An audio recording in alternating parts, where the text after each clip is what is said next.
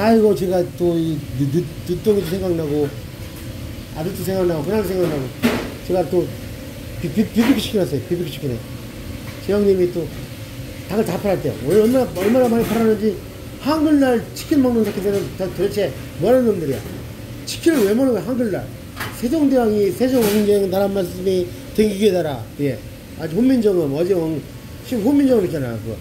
나란 말씀이 댕기게 달아 있잖아. 36자를 만나는 맹긴, 맹가노니, 아, 이거 있어, 이거, 그거. 술 먹, 술 먹어서 기억 안 나네. 그래, 닭다리만 나왔대, 닭다리. 닭다리가 뭐냐? 닭, 닭, 닭다리를 뭐라고 그냐? 닭다리를 뭐라고 그래? 그냥, 그, 윙 말고? 윙, 윙이라고 하지 않아? 아니, 아니, 윙은 날개라니까. 날개?